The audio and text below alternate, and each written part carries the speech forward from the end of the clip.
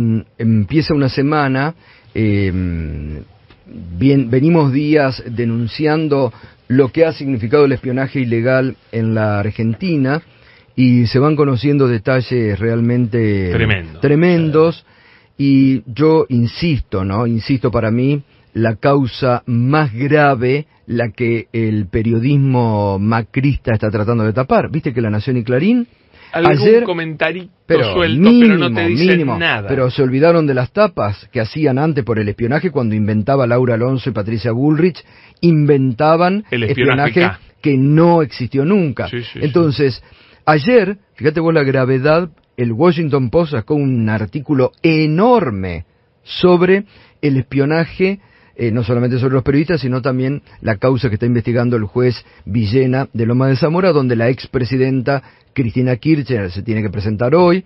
Esta semana también el jefe de gobierno porteño Horacio Rodríguez Larreta se tiene que presentar. Y lo que se conoció también, mm, yo la semana pasada adelanté algo y conté algo aquí, que se espiaba a los presos que estaban en el penal de Ezeiza. Entre no, ellos... No en cualquier pabellón. No, no, no, no en cualquier pabellón. Pero se los espiaba hasta en las celdas y se los filmaba y se los grababa. Y, entre ellos los accionistas de este grupo, Cristóbal López y Fabián de Sousa. Justamente lo tenemos en línea a Fabián de Sousa. ¿Qué tal Fabián? Buen día. ¿Cómo está? ¿Qué tal? Buen día Gustavo, Pablo y a toda la audiencia. ¿Qué tal Fabián? El momento para saludarlos por el Día Periodista. Muchas gracias. Gracias. A todos y a la mesa completa. ¿no? Muchas gracias. Bueno, ¿lo sorprendió eh, lo que está trascendiendo de cómo los espiaban a ustedes estando en prisión? Eh, sorprendernos no, nosotros siempre que teníamos, este, no, no indicios, pero teníamos la situación, algunos comentarios en el cual eh, nos creíamos que estábamos siendo escuchados o grabados o filmados o personal de lo que se llama el área de inteligencia del Servicio Penitenciario Federal estaba infiltrado dentro del personal este, que, tenía trato con nosotros e informaba de manera permanente acerca de nuestras actividades. Lo que sí sorprende es este, algunas cuestiones vinculadas a ese mismo proceso violando todo, todo, tipo de, si fuese así, ¿no? Violando todo tipo de, de intimidad. Imagínate que estar grabado en la celda donde uno convivía con sus más básicos este, necesidades, eh, o grabado en los lugares en donde se, uno se encontraba con su familia, con sus apoderados, con sus abogados. Era realmente, era una violación a cualquier derecho que, tenía, ¿no? Bueno, en lo personal, el ex jefe de gabinete de la Nación, el señor Marcos Peña, nos mandó a decir que eh, a los enemigos ni justicia, así que claramente cumplió con su con su rol, ¿no? ¿Eso se los mandó a decir antes de que los detengan o cuando estaban detenidos? Sí, sí, absolutamente. En el, en el mes de marzo o abril del 2017 a través de personas eh, que habían ido a charlar con él por cuestiones vinculadas a los medios del Grupo Indalo y a, lo que era la pauta que le correspondía por su nivel de audiencia. En la conversación este, surgió el tema acerca de la situación en la cual este, creíamos que estábamos injustamente eh, expuestos acerca del presunto haber presuntamente cometido delitos y una de las frases más célebres que me transmiten las personas que fueron a negociar y que eh, a charlar este, acerca de cuestiones de tanta publicitaria fue la frase al enemigo ni, ni justicia. Y claramente lo que hicieron, ¿eh? claramente Ahora, Fabián, establecido el primer día. Una pregunta sobre el espionaje en la cárcel. Ahí tenés un montón de, sectores del gobierno involucrados. Primero el Servicio Penitenciario Federal, que dependía del Ministerio de Justicia. Después vaya uno a saber quién hizo ese trabajo, si lo hizo la AFI, tenés la AFI metida ahí también. Había un montón de gente que debió haber sabido que esta barbaridad estaba ocurriendo, ¿o no?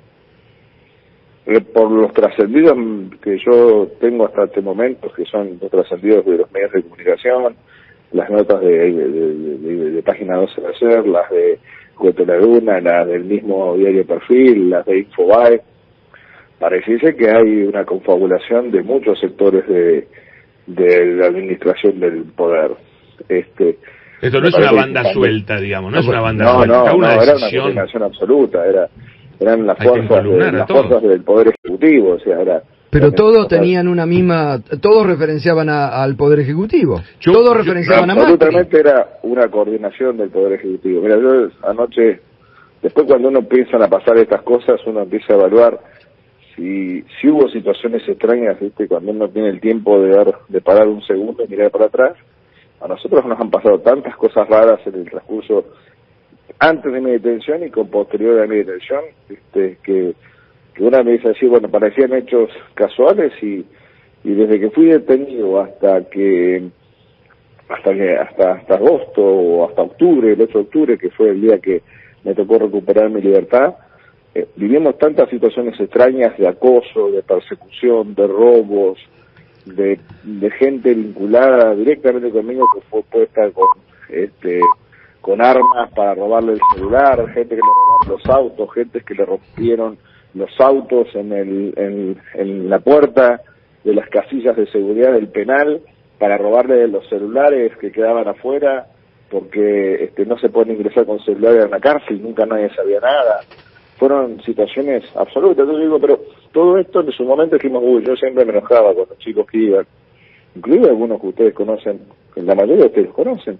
Decían, no pueden ser tan distraídos, no pueden hacer esto, no ¿cómo van a hacer esto? Pero ¿cómo?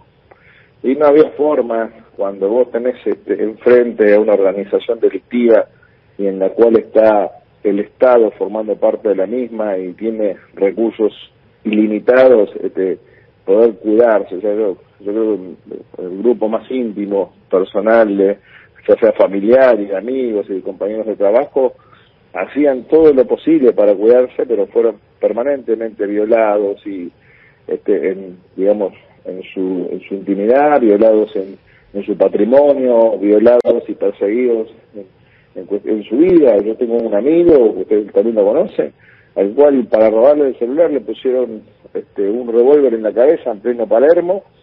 Este, este se negó a entregar su celular y bueno, al, final lo salvó y, le ofreció la billetera, le ofreció plata, le ofreció lo que tenía de otra mano el celular, quería el celular, cuando no le dio el celular no se animó a dispararle pero estuvo a segundo, estuvo a segundo de dispararle para robarle el celular. Ahora, esto, eh, eh, Fabián, esto que usted cuenta, está relacionado cuando robaron celulares a personas eh, que iban a visitarlo dentro del penal. ¿Robaban en los autos? ¿Dentro del penal? Es tremendo. No, en la puerta. Bueno, en la puerta, lo mismo, estaban las caritas ahí. Pero también existe la sospecha de que cuando vos dejabas el celular para entrar a hacer una visita, te clonaban te, te, ah, tomaban tu celular y algo hacían con ese celular. Esto se publicó en estos días también. Sí, todo eso pasó. Y yo después también digo, pero bueno, esto habrá sido todo amedrentamiento. Bueno, yo les tengo que contar que todos esos informes que generaban de la AFI, de SPF, después eran usados en las causas judiciales.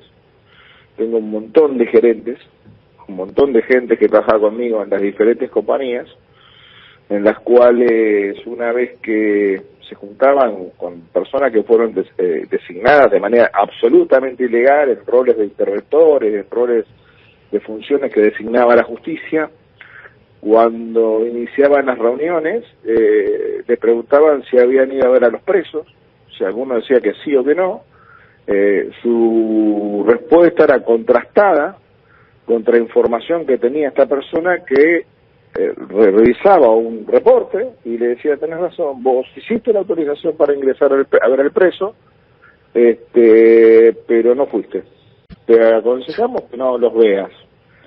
Este, era como el reparto de las sortijas, o sea, quien iba a vernos para charlar acerca eh, humanitariamente, por la relación, nosotros siempre construimos la relación laboral y la relación de trabajo como una relación personal, nunca tuvimos una relación profesional que sea exitosa o buena con una relación personal que sea un fracaso. Siempre iban por la misma senda. Teníamos muy buena relación y tenemos muy buena relación con toda la gente. Se les prohibía ir a vernos, a los que desafiaban eso iban a vernos, que era la gran mayoría, este, las amenazas se cumplían, iban a tener infinidad de problemas judiciales. Eh, hay cuatro, cinco, seis casos de, esos que tienen infinidad de cuestiones judiciales que se los crearon en condiciones menores y a quienes cumplían y no iban y se lo revisaba cada 15 días este, la sortija le llegaba porque en el expediente empezaron a llegar escritos en donde su función se ajustaba a derecho. Y en una forma de... Los reportes que generaban no eran reportes claro. este, eh, que no, neutros, sino eran reportes que se usaban en, el, en los efectos judiciales. Este, yo tengo un solarista del uso, que era eh, la manera en que administraban a los recursos humanos que formaban el grupo con la amenaza de eh, colabora con nosotros, hacer lo que te pedimos, no hables con los presos, era la denominación que tenía sobre nosotros, y si hablas con los presos vas a tener complicaciones judiciales. Y eso era monitoreado con informes que los mismos colegas no cuentan, que nosotros decíamos algo, vuelto a las hojas, miraban las hojas, que tenés razón.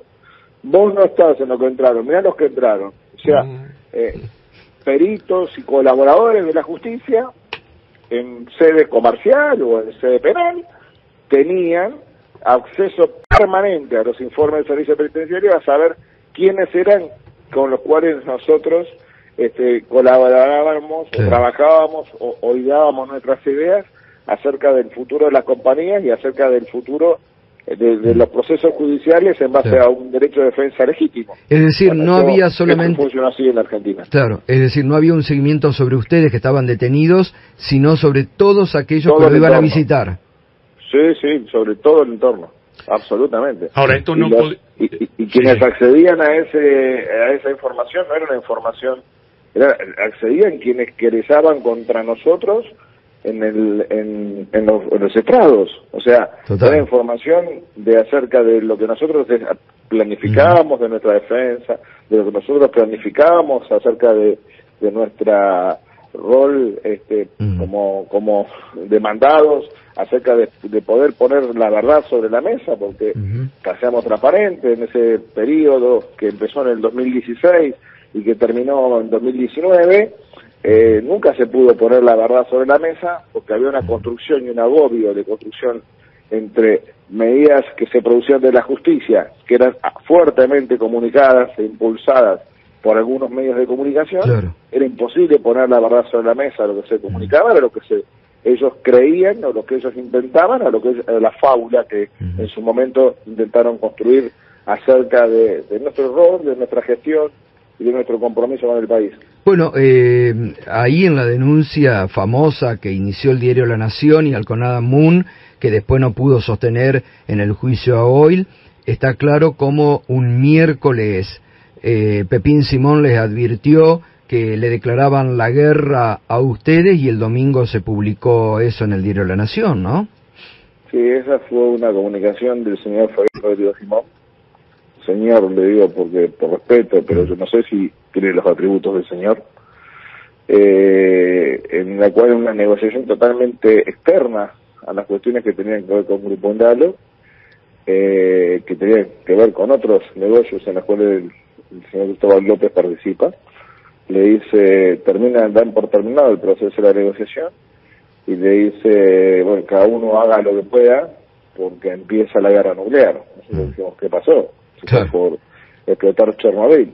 No, no, la guerra nuclear fue un proceso en el cual desde una cuestión, desde un ataque mediático este, sin precedentes, construyeron un, un caso un caso que no tiene nada que ver con la realidad, que era una ficción, y de esa ficción ellos intentaron lo lograron este, poner a las compañías en, una posición de debilidad absoluta, por lo cual algunas de ellas se concursaron, y desde el punto de vista personal, un ataque sistemático a nuestra intimidad, incluyó eh, eh, la culminación fue las detenciones de diciembre del 2017 y de marzo y de abril del 2018 que culminaron en el 2019 y en acá culminan diciendo que nuestras detenciones nada tienen que ver con la documentación existente en el expediente. O sea, uno de los periodistas de nuestro grupo sabe muy bien, este, por el tarea de, trabajo de periodista que ha realizado, que algunos funcionarios del Ministerio de Justicia, no puntualmente el ministro, le ha comentado que claramente el rol de detenernos fue un requerimiento del presidente Mauricio Macri, que llevó adelante el ministro Garabano, la solicitud la hizo el ministro Garabano, con el juez Ercolini. Entonces, la visión de que estemos detenidos no, no, tenía que ver con la posibilidad de entorpecer en una causa que lleva dos años, ni con la posibilidad de que nos profuguemos del país, porque llevábamos dos años atosigados mediática y jurídicamente, y lo que seguíamos haciendo era honrando la obligación de trabajar honrando el, nuestro derecho de defendernos en la justicia, sino claramente eh, respondió a una vocación de política este, sí, una decisión del presidente, claro. Una decisión de Macri, una decisión además, de Macri. Que además tuvo mm. una, una decisión, este, digamos, el momento absolutamente política, porque fue luego del, del tema jubilatorio, claro. que, había una hecatombe acá Pero en la aparte lo, lo advertían todas las notas, en todas las notas de la agenda del periodismo que protegía al macrismo le preguntaban lo mismo. Ahora también reveló la semana pasada Cristóbal López que Nicky Caputo les había aconsejado que se vayan a Sudáfrica porque no había extradición, como diciendo, miren, los van a meter preso, les sugiero que se vayan a Sudáfrica porque ahí no hay extradición. Sí, también hubo en, las reuniones en donde ellos nos, eh, nos acercan a, la, a Ronald de la Torre, sí. que son dos personas que quisieron eh, robarse el grupo, y en la situación de estrés emocional en la cual nos encontramos y frente a lo que veíamos que era una verdad que iba a terminar cumpliéndose o una eh, que era eh, detenciones, pero más que la detención era, eh, digamos, la, la destrucción absoluta del grupo. Imagínense que en ese momento el grupo de manera directa e indirecta daba trabajo a 30.000 personas. era para nosotros es una irresponsabilidad poder seguir luchando solos con la alta probabilidad de, de, no, de tener un resultado negativo y poner en riesgo a 30.000 personas. Cuando nos dicen, bueno, las compañías se salvan, ustedes vean qué pueden hacer, digamos, si las compañías se salvan, demos un paso porque después vemos si nos tenemos que defender, si, si podemos defendernos, si mm. podemos quedarnos presos, este, será lo que tenga que hacer, pero nosotros resguardamos las compañías porque pensábamos que era lo más importante porque fue otro de nuestros hijos que construimos durante 30 años. Este, lo que pasa, en, en ese asesoramiento del señor Nicolás Caputo, que escapa como una rata, este, ahora la semana pasada comprando un Falcon 900 y escapándose con un avión comprado, este, el señor nos dice que él nos aconsejaba que rápidamente nos vayamos a Sudáfrica y que ahí nos quedemos porque ahí no había este, no había extradición con la Argentina, Eso hacía que podíamos estar este tranquilos durante el proceso este que iba a ser un proceso muy difícil. Tremendo. Lo que pasa es que la gente tiene que entender que acá había dos objetivos paralelos. Meterlos presos por un lado como objetivo político y también que amigos del macrismo se quedaran con las, empresas, cosa que al final no pueden hacer porque se dan cuenta que era, era tan escandaloso, que iba, iba, a ser tan obvio que esa era la verdadera consecuencia, que lo intentan, fracasan primero con Orly Terranova y después con Rosner terminan fracasando también. Ahora, con Oil lo lograron, ¿no? Con Oil lograron sacarle la empresa, ¿no? La quiebra. ¿La quiebran? ¿Quién compró la finalmente? No, en Oil la, eh, se eh, la ponen, la paran en febrero del 2018 por imposibilidad de poder acceder a petróleo. O sea, cuando nosotros nos fuimos, que fue en octubre del 2017, dejamos la compañía operando con stocks para poder mantenerse 60 días en, tanto en refinación como abastecimiento de la red. Y en febrero del 2018 se produce el, el corte de la cadena de abastecimiento de petróleo. Ahí hacen dos operaciones muy, muy raras que algún día si hubiese una justicia independiente y la justicia hubiese eh, la justicia que comercial, por ejemplo, hubiese defendido, como dice que tiene el objetivo, que vos lees el artículo 1 de la ley del concurso y quiera, dice que el objetivo es salvar a las empresas, seguramente hubiese evaluado que hay dos operaciones de compra de barcos de petróleo de, en condiciones totalmente eh, diferentes a los procesos normales que desarrollaba la compañía, y esos petróleos que se compra este, a brokers internacionales eh, son petróleos que no están en capacidad de ser este, procesados en la refinería. Con lo cual, cuando acceden a ese petróleo, son petróleos con alto volumen de, mercurio, son petróleos que si en general tienen un precio de remate, porque son petróleos muy difíciles de trabajar y, y, tienen muchos contaminantes. Bueno, la compañía hace dos compras de barcos de ese tipo, con lo cual cuando entra ese producto a la refinería, la refinería no puede procesar ese petróleo y la compañía se queda sin fondos para seguir comprando otro petróleo que permita este, abastecer el, proceso de refinación. ¿Esa compra la hace la gestión Rosner? Esa compra la hace la gestión Rosner y eh, desde el punto, todo lo que he eh, eh, observado y lo que he podido investigar acerca de ese proceso de compra, hoy combustible tiene un departamento de compras de 10 personas de personas, de personal altamente calificado, que jamás permitiría que ese, ese tipo de, de mm. insumo ingrese a la refinería porque significaba letal para la vida de la refinería. Este, habría que ver cómo fue ese proceso y cuáles fueron lo que qué es lo que se pagó y cuáles fueron los retornos que se hicieron sobre esas compras y que además de tener la finalidad de generar resultados eh, eh, impropios para quienes realizaron la misma, fue claramente el punto final de la capacidad operativa de combustible porque lo, dejó sin petróleo. Claramente ellos trajeron eh, las personas que fueron recomendadas por Nicolás Caputo y por parte del gobierno. Claramente tuvo la finalidad esa operación de destruir y parar la refinería.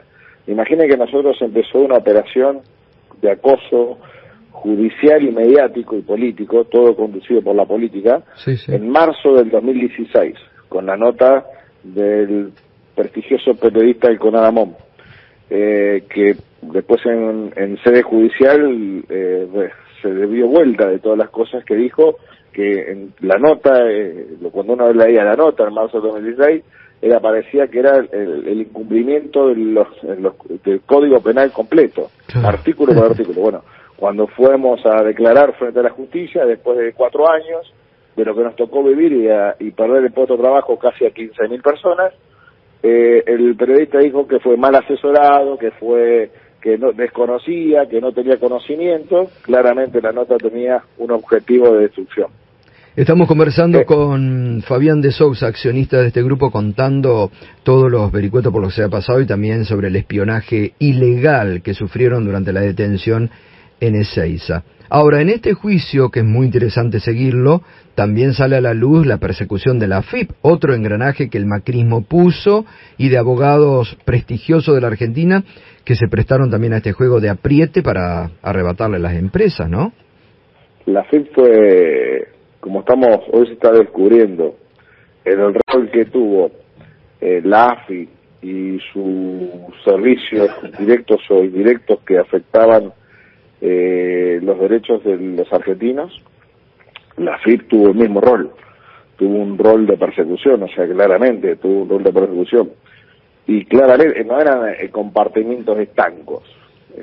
Las acciones que se hacían de, de hacerse de información eh, de manera ilegal de las personas y de las compañías eran usadas por los representantes del gobierno, se hacen en organismos como la FIP o, o en los representantes del gobierno en procesos judiciales mm. por funcionarios que ellos habían designado ad hoc este, para llevar adelante el proceso del objetivo que ellos tenían.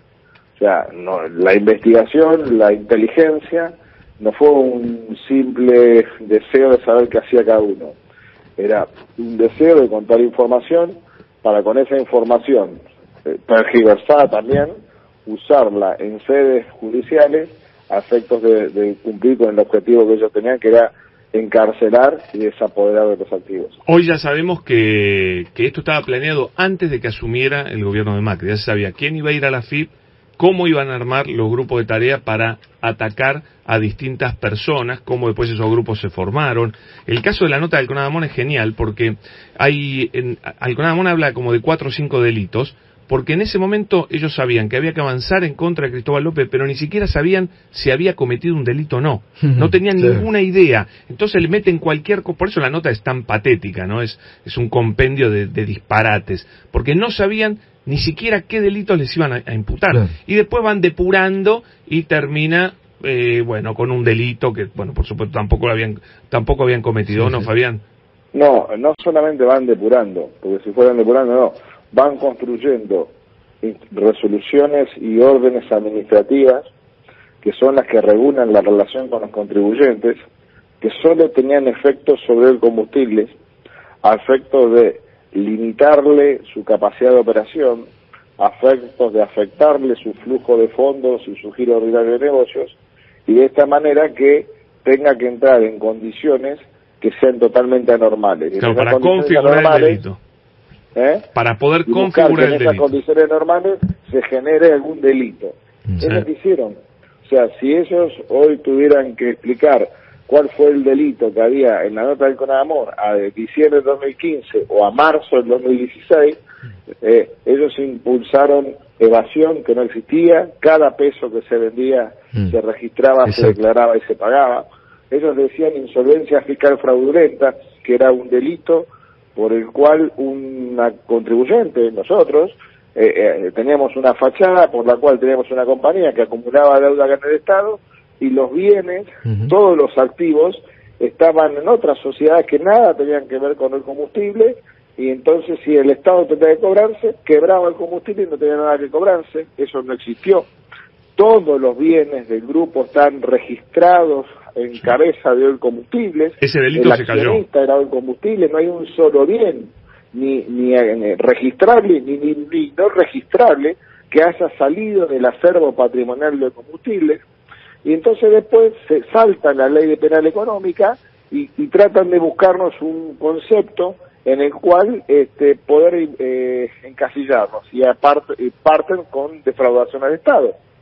Pero ahí tuvieron un problema. Nos imputan por defraudación al Estado, inexistente, porque hoy combustible tenía un plago, un plan de pagos, como cualquier contribuyente en la Argentina, que hay un millón doscientos mil contribuyentes en la Argentina que tienen plan de pago, y lo tenía 100% honrado en tiempo y forma, cancelado el 100% de las obligaciones que se habían devengado hasta ese momento. Uno de los planes de pago, que era de 36 cuotas, tenía cancelar 30 cuotas en tiempo y forma, tenía cancelado casi el 90% del plan. El segundo plan de pago, que era de 60 cuotas, la compañía tenía cancelado el momento que ataque el ataque, en forma correcta todas las eh, cuotas que se habían devengado y mm. que a ese momento no me acuerdo si eran 27 o 29. Con lo cual era imposible eh, poder decirnos que habíamos defraudado al Estado cuando el Estado nos había, a nuestra petición, otorgado un plan de pago en 30 y en 60 cuotas para pagar nuestras obligaciones con los mm. el 100% del capital más los intereses y con intereses de financiación que eran superiores a los intereses bancarios. Ahí, Fabián, es muy importante porque para que vos te acusen de defraudar al Estado, el Estado tiene que haber sufrido un perjuicio. El Estado nunca sufrió un perjuicio por la operatoria del combustible. Entonces, ¿qué hizo la FIP? Desesperado porque había algo que imputar, ¿Sabe lo que hizo? Eh, o le cuento a la gente lo que hizo. Dijo, bueno, tenemos que hacer que hoy combustibles genere un perjuicio al Estado. ¿Cómo hacemos? Le impedimos que paguen, que sigan pagando como vienen pagando. Y ahí lanza Alberto Abad una serie de por lo menos seis resoluciones que directamente no tenían otro, otro objetivo que impedir que hoy combustibles pudiera pagar como venía pagando y entonces decir, bueno, ven, acá está, este es el perjuicio eh, para el Estado, acá se configura el delito de administración fraudulenta. Mm. Inventaron un delito y lo generaron ellos desde la administración bueno, pública. Pero el papelón, pero el papelón, ¿eh? el papelón que hizo Alberto Abad también en el juicio. Alberto Abad, eh, a ver Fabián, ustedes que siguen ahí día a día cuando se cumplía el juicio. Alberto Abad es otro que transpiró como testigo falso y no pudo tampoco justificar, ni sabía que se dedicaba a oil, ¿no? No, es sorprendente porque la posición que tuvieron en, el juicio más que transpirar o más que tener una memoria selectiva mm. en donde se olvidaron de gran parte de lo que hicieron en los últimos cuatro años, eh, en realidad, previo a sentarse como testigos y poder contarle a la justicia la verdad, porque cuando uno va como testigo tiene que contar la verdad, no puede ser como cuando se sentaban en los colegios profesionales, al lado de, contadores de renombre que, que son los que formaron parte de la estructura del pensamiento, de la persecución, este, decir cualquier barbaridad total no tiene efecto, cuando hubo que aceptarse en la justicia, y atento que tienen que responder a un juicio en el cual nosotros los imputamos y fueron, eh, nosotros los denunciamos y fueron imputados por los fiscales correspondientes este, por persecución, por administración fraudulenta de ellos, este, por uso indebido de la función pública. Entonces, el día previo a sentarse como testigos, nosotros queremos que nos, alguien que nos interpele, porque yo hace cinco años que estoy esperando que alguien me diga qué hice mal, por la cual me llevé dos años preso, por la cual a mi mujer la violaban sistemáticamente sus derechos cuando me iba a visitar, o se le metían en la casa para eh, asustarla cuando era medianoche. Yo necesitaba que me di alguien de ese nivel, directamente, como dicen, ese nivel mm. de, conocimiento, me interpele y me diga, bueno, realmente es mucho más capaz, nosotros no previmos esta circunstancia, nosotros estudiamos, nuestros colaboradores se equivocaron y tienen razón. Bueno, ¿sabe qué hizo este señor 24 horas antes? Dice que atento que hay otra demanda en la cual le va a tener que responder acerca de su funcional, de su accionar. Se niega a discutir o se negaba a, contestar preguntas que tuviesen que ver con hoy combustibles desde el periodo marzo del 2016 a la fecha. Porque cualquier declaración testimonial en donde él tenga que decir la verdad puede ser usada en su contra en la demanda en la cual él tiene que responder por las acciones que, realizó. Eso es eh, a, declaración de parte, relevo pruebas. Si, la persona que tiene que ir como testimonial y contar lo que hizo y en la cual para la sociedad nosotros éramos unos mangos, unos irresponsables empresarios que habíamos cometido delito y que habíamos usufructuado de la plata de la sociedad, que es falso, pero sí había un señor que lo hizo permanentemente en fueros profesionales, que está grabado, en fueros, en fueros de los consejos profesionales, hacía conferencias de prensa acerca de la causa de combustibles.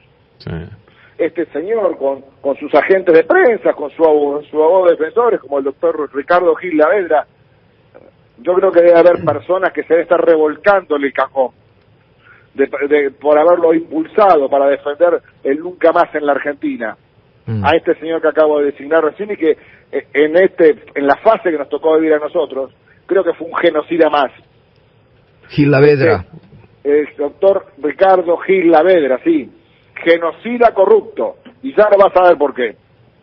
Este, vamos eh, a, yo digo, bueno, me van a explicar, va a presentarse gente de prestigio, de, en la matrícula, gente de prestigio, la administración tributaria en Argentina, y me va, me va a aclarar que, por qué estoy sentado acá y por qué estuve preso dos años. No, se excusó porque lo que podía decir puede ser comisión de delitos en la causa en la cual tiene que responder acerca de su accionar, de su oscuro accionar mm. al frente de la Administración Federal de Ingresos Públicos este, en, eh, en la causa de combustibles. No sabía que se dedicaba al combustibles cuando ese mismo personaje daba conferencias de prensa en la sala del Ministerio de Economía, en la cual eh, daba, explicaba cuál había sido la metodología del combustible. No, y que en, un fin de año en la FIP, ¿se acuerdan? Eh, que está grabado eso, brindó con todos los empleados por haber, eh, por la persecución a Indalo y por lo bien que les había salido. Brindó especialmente por eso. Sí, pero con el grupo de tareas que había organizado, ¿no?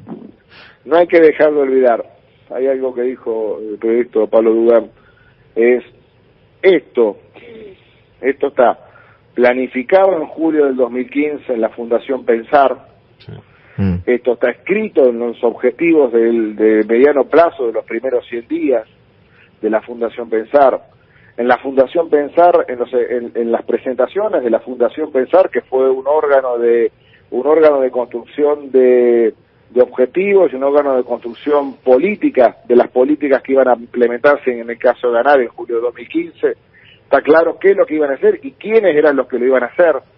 Claramente en las presentaciones de ellos dice que quienes colaboraban y quienes hicieron el rol de esto era, en el caso de, los planos del artículo 32, se llamaba el plan táctico y el plan táctico lo había desarrollado Jaime Mesikowski porque en sus presentaciones ponían que en el plan táctico era Jaime Mesikowski que debía poner y preguntarle acerca de cómo llevarlo adelante. Y después, en el caso, en los casos del artículo 32 y en algunas cuestiones puntuales que tenían que ver este, con nuestras compañías, eh, también está trabajado dentro, fuera de la Administración Federal de Ingresos Públicos y trabajado en estudios contables como el contador Litvin Sí, sí, sí, la posición de cómo debía atacarse a Ol Combustibles, de denunciársela por evasión, por insolvencia, y si no había ninguna posibilidad de esas, ir por administración fraudulenta, es una presentación realizada por el estudio Litvin y Asociados a, Alberto Abad, y que si uno busca eso de diciembre del 2015, se da cuenta que todas las cosas, todos los pasos que eh, realizó la Administración Federal de Ingresos Públicos. Una ah. cosita, Fabián, sobre Jaime Mesikowski, íntimo amigo de Elisa Carrió, íntimo amigo de, eh, o por lo menos un contacto muy conocido de Alconadamón, también íntimo amigo de Laura Alonso, y también muy amigo de el fiscal Germán Policita, que justamente es el fiscal que termina llevando adelante la acusación en el Fuero Federal contra ustedes.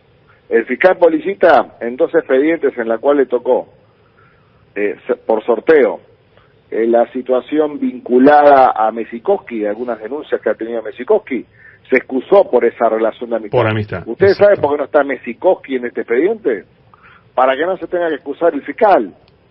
Entonces después, claramente, la ardid, el engaño, todo el proceso que se llevó adelante a cabo fue claramente ideado por este personaje a efecto de no construir una incompatibilidad en sede judicial, él, eh, como nunca se presentó, y mandaba a los funcionarios que fueron a declarar. Ustedes vieron los funcionarios que fueron a declarar. Totalmente. Ustedes vieron la posición técnica de los funcionarios que fueron a declarar. Fueron no hubo un, un, un pobre funcionario, no hubo ningún funcionario que haya dicho que hayamos cometido un delito.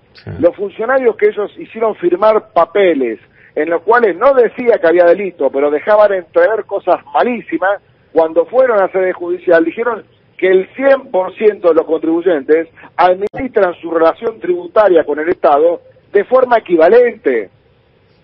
Entonces, ¿por qué no aparece Jaime Mesikowski en nuestro, en nuestro expediente? Porque si aparecía Jaime Mesikowski, el fiscal que impulsaba esto se iba a tener que, que recusar. Acordémonos que la, la denuncia... Porque ya lo había hecho en dos causas. Claro, y la denuncia del Fuero Federal la presenta Elisa Carrió ante Policita, directamente en un escandaloso caso de Forum Shopping, ¿no es cierto? Eh, ante Policita y ante Arcolini, pero se la lleva en mano a Policita Elisa Carrió. Sí, se la pone en mano a Policita, dice que esto tiene que ver con una causa en la cual ella había denunciado una asociación ilícita de Néstor Kirchner y más personas mm. en el año 2008 y que para ello en el 2016 el pago el de impuestos en cuotas en la Argentina, que legal, era casi una, formaba parte de esa asociación ilícita. Entonces, ah, no hay ningún tipo de sorteo y van directamente a, la fiscalía, ni al juez, directamente a la fiscalía y la fiscalía directamente impulsa un nuevo requerimiento fiscal con el tema de la... escándalo Ahora, eh, está, claro, está claro, Fabián, ustedes esto, porque digo, todo lo que usted está denunciando ahora, que lo está contando en realidad, que la gente, muchos, por los llamados, por los mensajes que estamos teniendo, está sorprendiendo, ¿no?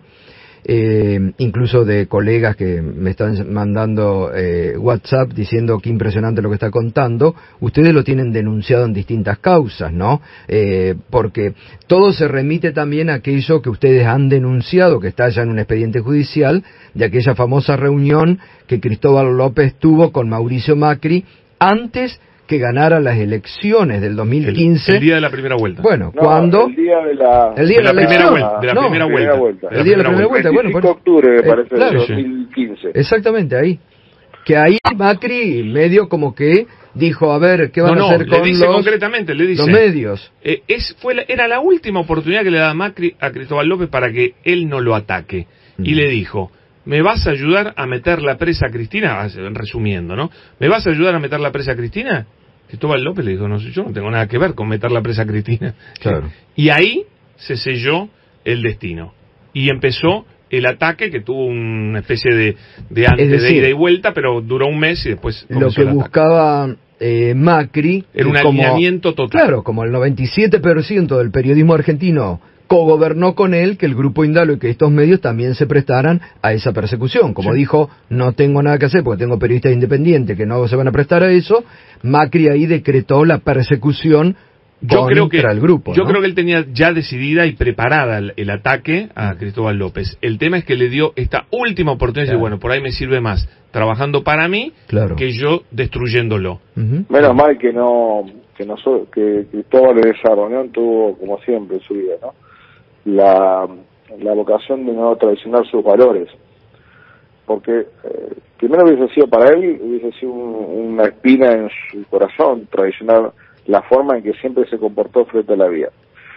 Pero segundamente, eh, es probable que también le hubiese traicionado Macri, porque los ejemplos de traición a quienes lo acompañaron en cada uno de los procesos se están hoy están a la vista, o sea, investigaba y perseguía, por ejemplo, conozco el presidente de la Cámara de Diputados de la provincia de Buenos Aires cuando tenía una estrategia política superadora, él creía que era superadora a efectos del proceso mm. electoral del 2019. ¿Qué le tocó vivir? La mujer de esa persona, ¿qué le tocó vivir? A la gobernadora, a la ex gobernadora de la provincia de Buenos Aires cuando creía que de la manera que estaban enfrentando electoralmente no le iba a ir bien. ¿Qué les tocó vivir? Les tocó vivir la persecución, y el armado de causas, la el armado de causas, el armado de causas, las manos derechas que impulsaban eso en la Cámara de Diputados, ¿no? Claro. Ahora, este, Fabián, una volviendo sobre la investigación ilegal, el espionaje ilegal sobre las personas detenidas en Ezeiza. Me gustaría que, me dijeras si vos crees que esto podía ocurrir sin que, por ejemplo, el subsecretario de Política Penitenciaria de ese momento, eh, por supuesto, y muy amigo y muy cercano a Garabano, se llama Juan Bautista Maíquez podía desconocer esto y el titular del Servicio Penitenciario Federal también. Ah, imposible. Mira, yo hacía mención que esta que el manejo de las cárceles estaba en, cabeza del secretario de políticas de penitenciarias. De Maíquez, Juan Bautista Maíquez. Eh, era una persona que em, no sigo reiterada, pero con cierta habitualidad visitaba las cárceles. Eh, en alguna de esas con Garabano.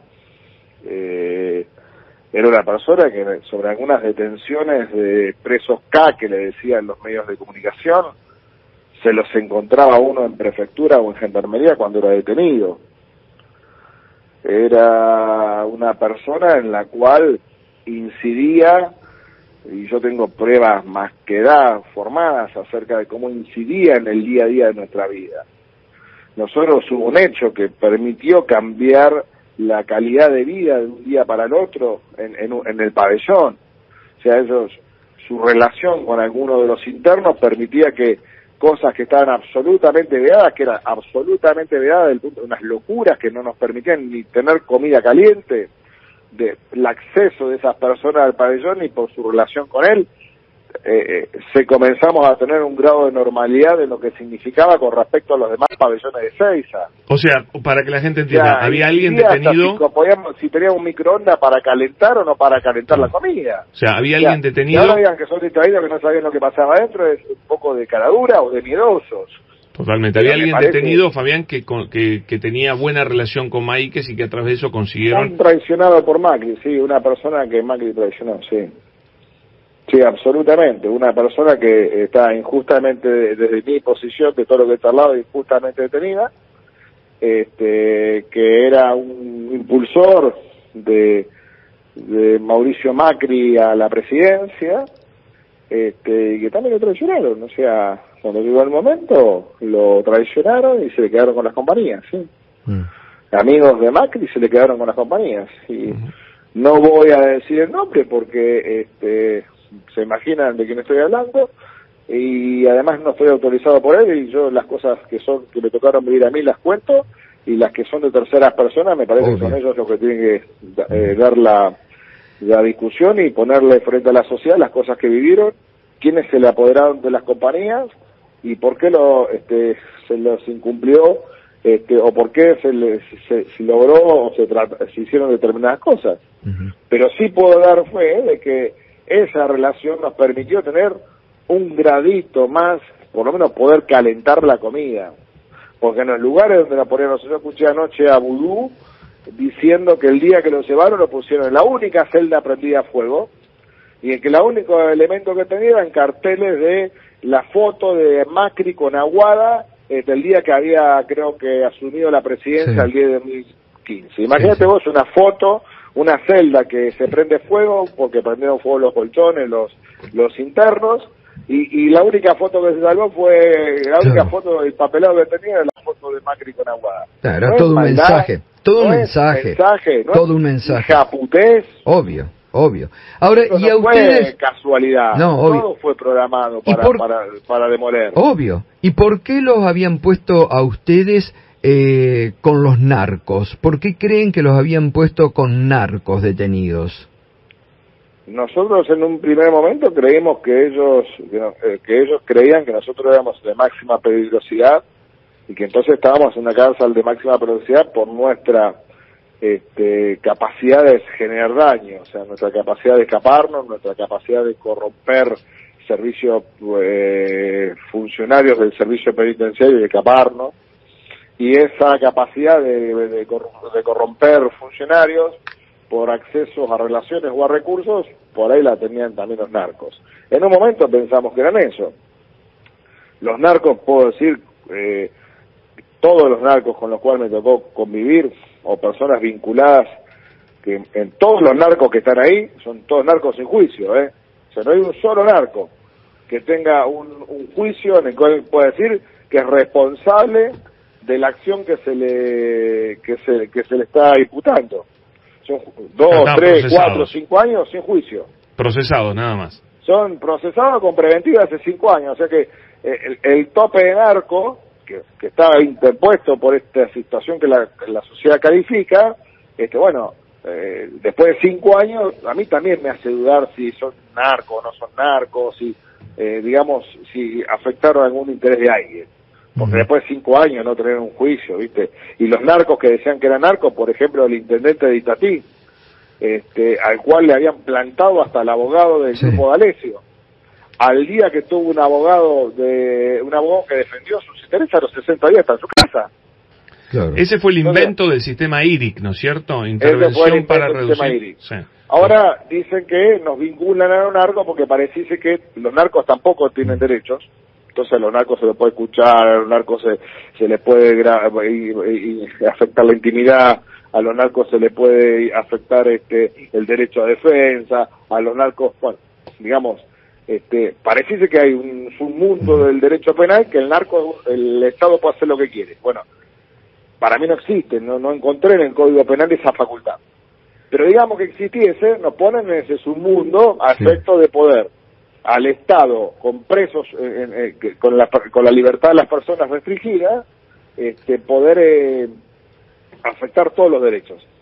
Para mí. Y después tengo otro comentario, que dicen, que también me dicen, che, por ahí, en su momento, ellos pensaron que nosotros, viste que siempre fue asignado que, que el gobierno del peronismo, el gobierno del kirchnerismo, eh, eran todos narcos también, éramos todos narcos. Claro. Ahora han dicho, los pongo con narcos y se pone a hacer negocio con los narcos y lo tenemos mejor probado. Claro, claro, para armar otra este, causa, ¿no? Para armar otra causa. Entonces, a mí me parece que tienen esta tipificación que hacen de que los narcos no tienen derechos, me parece que el Código Penal eh, tampoco permite que hagan lo que hacen sobre ellos, este, y en segunda instancia el hecho de que hayan puesto ahí, yo creo que era para poder eh, poner en marcha todo el proceso de ilegalidad que cometen con los narcos con nosotros. ¿Qué es lo que hicieron? Total, claro. Es lo que hicieron, o sea, lo que ellos necesitaban encontrar en esa en ese lugar todas o alguna punta de cuestiones que les permita, si no sé si éramos defraudadores del Estado, estos pagaban impuestos, bueno, pero pero no sé, pensaban distinto como pensaban diciendo que lo encontramos. Y mira, lo encontramos en la celda no la tiene limpia, limpia, no tiene limpia la celda y escuchamos que no limpia la celda. Mm, o sea, fue realmente un proceso muy complicado que le tocó, nos tocó vivir Total. Bueno. Agradezco a mi familia, a mis amigos, a un grupo de periodistas valientes que en ningún momento callaron, porque nosotros, porque ustedes, eh, en el tiempo, en el tiempo de la locura, nunca callaron acerca de las cosas que se estaban viviendo en la Argentina. Hubo muchos, muchos, muchos que yo también saludé a ser como periodistas porque tienen un rol, pero que o casaron o se prestaron a otra a otra realidad, a otro juego. Y después hubo muchos que pensaron que estaba mal, que no eran periodistas, pero que por ahí les, les daba una, una ventaja económica o una ventaja empresarial para apoderarse de empresas total. que eran de que nuestras, que la habíamos comprado de buena fe, que la habíamos comprado, que la habíamos pagado, que las gestionábamos, que tenemos el orgullo de formar parte de ellas, que creíamos que íbamos a, construir compañías líderes en su mercado, como en realidad son. Y sí, este, bueno, muchos que hoy se jactan de perseguidos son los que se sentaban en los expedientes judiciales a ver cómo se podían apoderar este, por el Pancho y la Coca-Cola de las compañías que formaban parte del Grupo Italia. Totalmente. Este proceso de inteligencia, de que, que, que desenmascara lo más lo, lo, más pobre de una sociedad republicana, es un proceso en el cual, aparte de los responsables que tienen el Poder Ejecutivo que coordinó todo esto, hubo sectores, como pasa siempre, de la sociedad civil empresaria, que creyeron que les servía para tener algún beneficio en su patrimonio. Bueno, Fabián, gracias. La verdad que esto es necesario que, que la ciudadanía lo conozca, que salga toda la luz. Supongo que van a ser querellantes también. ¿eh? Claro que hay mucho más. Hay mucho más. Nosotros no tenemos ninguna información oficial acerca de que hayamos sido investigados.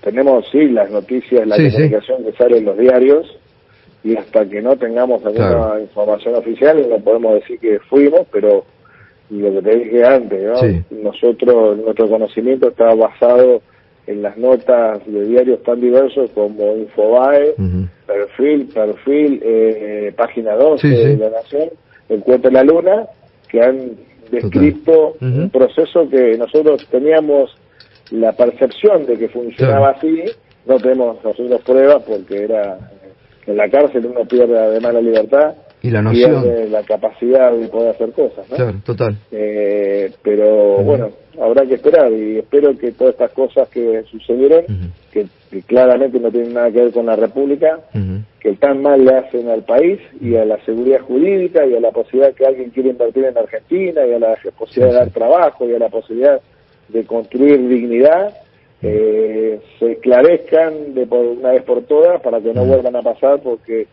no sé si es tan grave, pero iban en la senda de ser tan grave como lo que nos tocó vivir a argentinos en el proceso del 70 y el 80. Totalmente. Bueno, abrazo grande, gracias, buen día Fabián. ¿eh? Gracias. Eh. Bueno, gracias. hasta luego. Fabián de Sousa, accionista, eh, contando con lujo de detalle todo lo que han vivido. gravísimo, gravísimo. Y lo que va a salir a la luz. Más todavía, que es terrible, terrible, terrible. escuchar a un preso violar este, los derechos de un preso es violar los derechos humanos también, ¿eh? También, claro. ¿eh? No, no solo un delito, es un delito de extrema gravedad. ¿eh?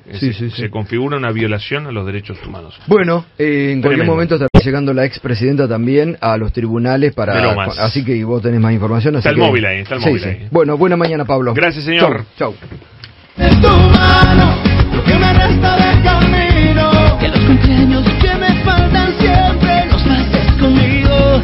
digo que no estoy jugando, cuando te digo que te amo, te amo, te amo, te amo y quiero